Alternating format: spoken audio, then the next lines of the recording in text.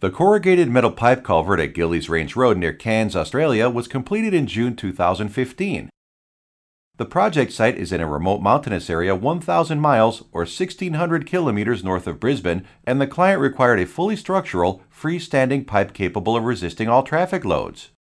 Slip lining of the culvert with conventional pipes that are heavy and require major jacking equipment would have added significant cost to the project.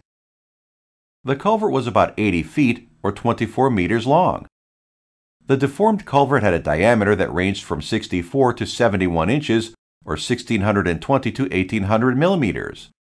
Four StifPipe sections having an outside diameter of 59 inches or 1500 millimeters and a thickness of 1 inch or 25 millimeters were constructed near the site and shipped via trucks to the job site.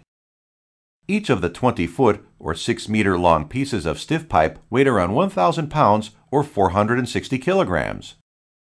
These sections were light enough that two workers could easily push them into position inside the culvert by hand. The ends of the four segments were connected together after installation using the wet layup technique. The annular space between the culvert and StifPipe was filled with grout. The completed installation is shown here.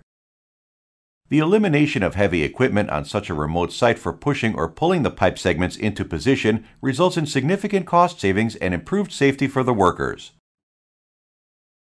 Please watch videos of other similar projects on our YouTube channel.